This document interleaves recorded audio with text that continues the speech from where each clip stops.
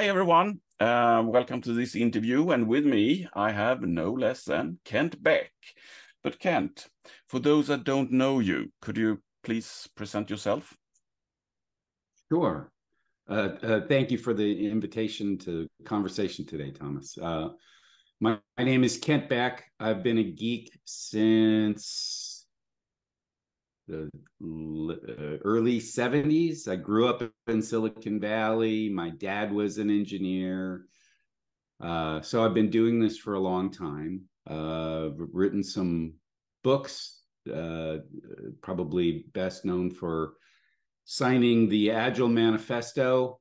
I was one of those uh, 17 middle-aged white guys who uh, who wrote that and, and, and signed it, although I didn't write any of it. Um, my mission in the in the world is to help geeks uh, feel safe.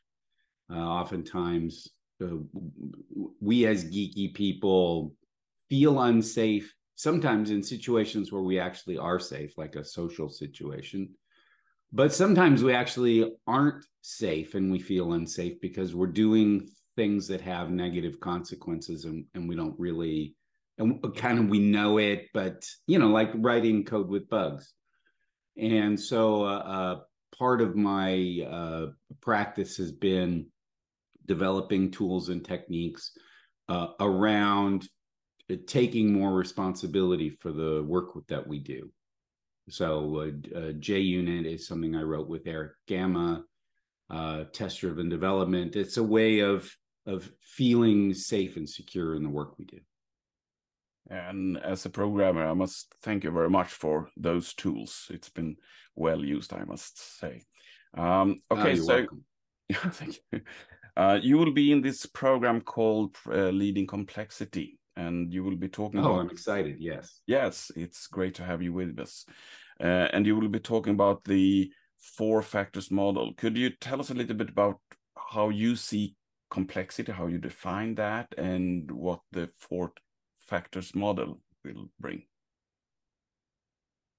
Sure. So at an early extreme programming conference, we invited uh, uh, the dean of the School of Economics at the University of Trento, uh, a guy named Zaninotto, to come and tell us from an economist perspective why extreme programming might work, even though at that point everybody was saying, no, this couldn't possibly work. And he presented this model, and it took me probably 15 years to, to understand what he had told us, but uh, I have found it very helpful since then. So you get into a complex situation, one where you kind of don't know what's going on currently, and everything that you try makes things worse. That kind of situation doesn't emerge at random. It's a confluence of and these are the four factors that Professor Zaninotto presented. and the four factors are uh, uh, so you've got this system and it has lots of elements. And uh, one of the factors is there's interdependencies between the elements. So if something happens here, the consequences flow to one or multiple others of the elements, and then the consequences of that flow to others. So you've got these interdependencies. The second factor is that each of those elements could be in many different states. So it's difficult to predict without understanding all the details. It's difficult to predict, well, if this happens here, what exactly is going to happen here? And then because it could be in many different states, and then depending on what happens there, different consequences are going to flow. So already the picture's starting to get fuzzy. The third factor is that there's variation externally, the inputs coming into this system, and internally. So the elements don't always act exactly the same way, uh, even if you precisely knew their states. So things are changing all the time. These effects are rippling through the system in unpredictable ways. And then the last factor, the fourth factor, is irreversibility. And this is where uh, uh, you can break it, but you can't ne- necessarily fix it. So you make some change to the system, everything just falls apart, and you can't just uh, unfix it. So if you're in a situation that's complicated that where you're getting unintended consequences and you have all four of those factors present, you're out of luck. There's nothing that you can do to kind of bring that system back in even some sort of dynamic equilibrium. So, in the case of extreme programming, the it's the fourth factor that we address. Uh, uh, software development before that was very irreversible. You do an analysis document, and that was exactly the system that you were going to build, even if you made mistakes. And then you'd be, build a big design document, and that was exactly the system that you were going to build, even if you made mistakes. Uh, you made all these irreversible decisions. In extreme programming, if you discover it, the subtitle is embrace change you discover that this isn't the system you want you want that system you can just change so very few of this of the decisions in an extreme programming project are irreversible are set in stone and you, you can't change them and that means that even though there's variation there's interdependency and there are many states you can still try experiments and steer this complicated thing in the directions you'd like to go. So that's the four factors model. You have interdependencies, you have many states of the elements, you have variation coming from the outside and from the inside, and you have irreversibility. So when I'm in one of these situations, the first thing I want to understand is are all four of those factors present? And if they are, like software development in a gigantic bank, for example, all four of those factors are going to be present. I can't just fix that problem by doing a little bit better job. I need to address one or more of those factors before I can have any hope of having a positive effect on the system. Does that answer your question? Uh, absolutely, it will.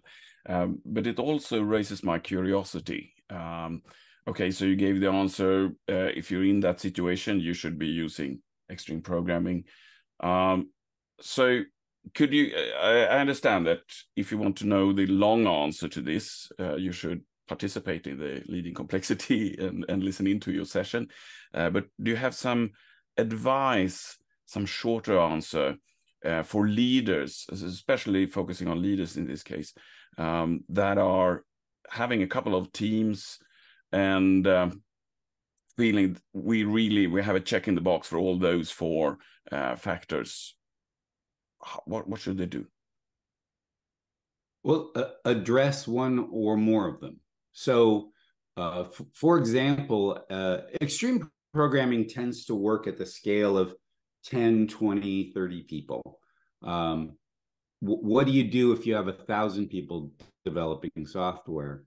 Uh, so, f- for example, uh, uh, in, in, a thousand person organization, oftentimes there'll be teams and kind of organizations of teams, and there'll be interdependencies between the teams. And it's those interdependencies between teams that cause a lot of the problems. Now, people people uh, I- introduce those interdependencies for reasons that make sense to them in the moment. Like, okay, so we have a security team and we're going to do all the security work in the security team, and everybody's going to be dependent on the security team. Well, what's going to happen next is that the security team is going to be a bottleneck for anybody else. If anything goes, if any of that variation happens within the security team, the you know the the leader leaves or uh, an important individual contributor goes to, to another part of the company or somebody just gets sick or there's a glitch in a project the results of that are going to be felt in the entire organization. So it, at scale if you if you introduced in, interdependencies to achieve economies of scale or or whatever good reason made sense to you you're in that state where all four factors are present. And you might need to to detune your organization. You might have to make things well actually you always have to make things worse. That's one of the the sad facts of the world is things always get worse before they get better so you may have to make things a little less efficient micro efficient in order to remove the dependencies that aren't serving you in order to make larger macro gains. So uh, the the uh, there's a profound responsibility in leadership to look at the larger picture out of all the little pieces and say not just push a lot of uh, uh, there's seems to be this model that leadership is about pressure and, and and pressure actually makes things worse and reduces the amount of honest feedback that you get. So you're less prepared to deal with your problems. And i'm i'm advocating a style of leadership that says no no if you've got all four of these factors present figuring out which one you can reduce is your job as a leader nobody's going to come up with that you know down in the middle of the of the chaos. It's your job to see okay we're we're playing a game we can't possibly win. We need to change the rules of the game. Very interesting. Um, my, my feeling is that it's very common that especially when scaling up uh, leaders have a tendency to actually make it worse. They, they are uh, putting people in silos. Uh, they are introducing um, platforms that is not really helping, and uh, especially and then saying you are only focusing on this and you should only be focusing on that kind of. Uh, so creating the dependencies, even so, kind of making it even worse. No, and and not because anybody's evil or stupid. No, the, the, they're trying to achieve goals uh, in an environment though in which it's impossible. Hmm. Yeah, they, they are.